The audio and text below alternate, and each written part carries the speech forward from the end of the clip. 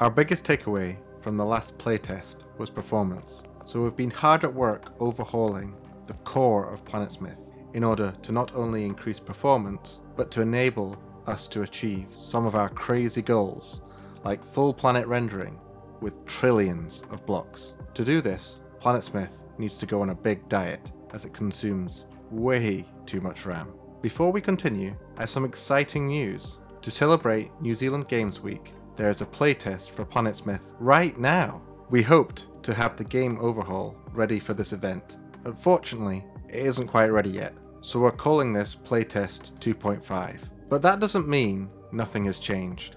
This playtest has our first prototype boss fight, more on that later, and a few performance upgrades that should help some of you that struggled last time. But the performance upgrades that I'm talking about in this video aren't in this playtest. They will have to wait for the next one. Head over to our Steam page after this video to join in, and if you want a fun way to support us, our previous games are all on sale too. Great fun if you like puzzle games. Globesweeper and Globesweeper Hex Puzzler were a precursor to PlanetSmith, and they use the same core shape as PlanetSmith. Links on screen now and in the description. Back to the video. To reduce the game's RAM usage, we have completely changed the way blocks are stored in game. Although they were compressed when saved to disk, blocks were uncompressed in RAM. This means that each block, be it air, dirt, stone, or anything else, took up 2 bytes of RAM.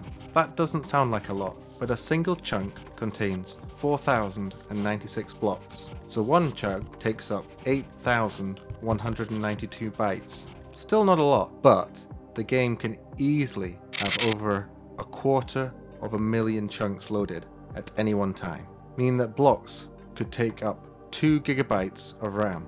And that's before we add anything else, like textures or meshes. Also, since we're using 2 bytes for each block, and that data contains not only the block ID, but the block state, this left us with a maximum 4096 different blocks. A lot, but definitely not enough, especially if modding gets added in the future. To combat this, blocks are now stored using a palette and palette index system.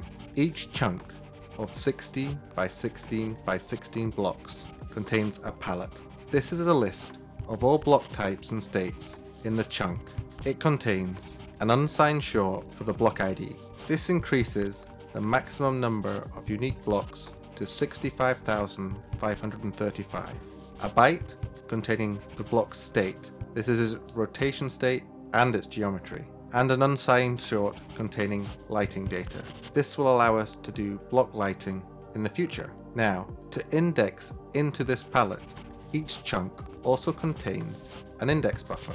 Like before, there is one index for each block in a chunk, but since this indexes into the palette instead of into all possible blocks, we only need to assign a nibble, which is half a byte for each block. As long as there is less than 16 different block types inside a chunk, which most of the time there is, this means that the chunk's buffer now only uses 2048 bytes, a quarter as much as before. If a chunk contains more than 16 different blocks, a byte is used to store the index, and in the worst case, where a chunk contains more than 256 different blocks, it uses 3 nibbles, which is still less than the 2 bytes from the old system. As a bonus optimization, any chunk that contains only air is skipped, meaning it takes up 0 bytes, and if it contains only one block type, it stores the single block ID.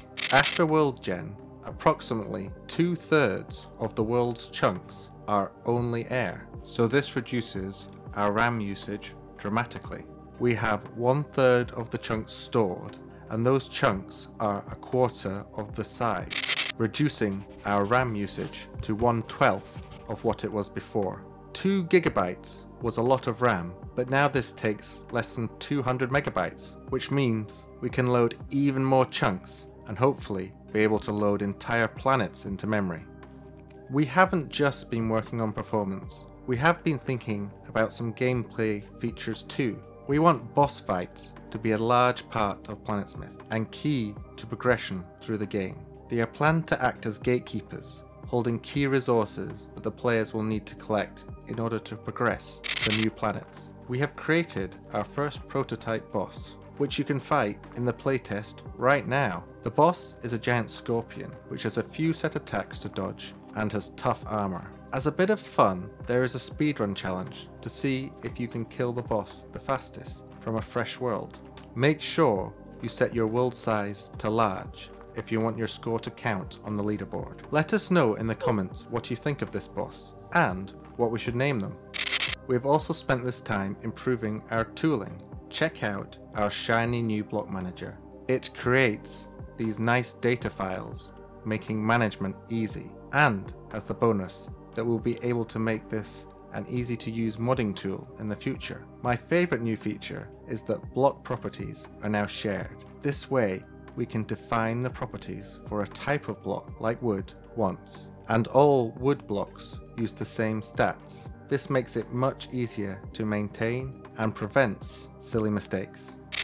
This brings us to our other huge change, and the one I'm most excited for. We have completely removed physics meshes. Nearly all 3D games use a physics mesh for the world's environment. It's an infinitely thin mesh of triangles that define the world's boundaries. Objects like the player collide with this mesh, but sometimes, perhaps due to the player travelling too fast or getting forced between colliders, the player can get pushed through the mesh and fall out of the world. PlanetSmith also suffered from this problem that some of you may have encountered in the last playtest, but not anymore. The player and all other objects in the world now use hexel physics, so instead of colliding against a physics mesh, the collisions now happen directly with the voxel data. This completely removes the possibility of falling through the world. At most, you could clip into a single block, but the block behind will prevent the player from going any further. This has a second big advantage, as it's much faster to do calculations against the voxel data than it is to do traditional mesh-based physics calculations. Also, one of our main performance bottlenecks was the creation of these physics meshes, which we can now completely skip, increasing frame rates and saving RAM. It's a win-win, with of course the big downside, and why I didn't do it initially, that the physics in PlanetSmith now has to be completely custom. That's all this time, thanks for watching, and be sure to join our playtest. As always, come join our Discord if you want all the latest PlanetSmith news including alerts for future playtests.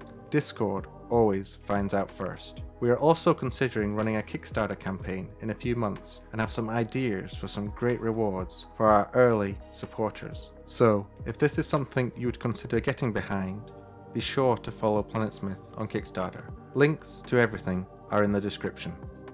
Thanks to all our YouTube members, you help make our devlog series possible. See you next time where we'll be going back to the world generation. It's time to give that a big overhaul.